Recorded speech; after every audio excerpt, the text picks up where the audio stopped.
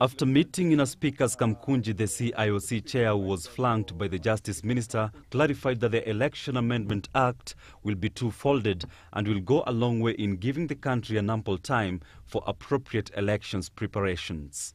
The reason why we're doing this is that the elections regulations, and they deal with four separate areas on elections, on voter registration, on civic education, and on diaspora voting.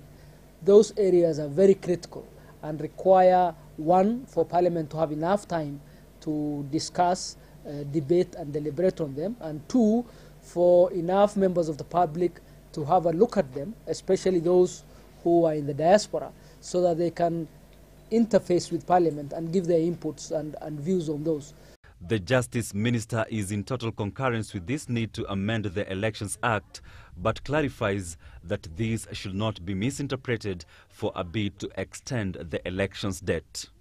Uh, as of this morning, uh, as the Honourable Chair uh, of CIOC has said, it has become clear that uh, uh, the three committees of uh, the House, the CIOC, the Justice and Legal Affairs Committee, the Committee on Delegated Legislation, have all asked for time. It's not possible to finish the four documents, do justice to them, and pass the approval of the regulations this afternoon.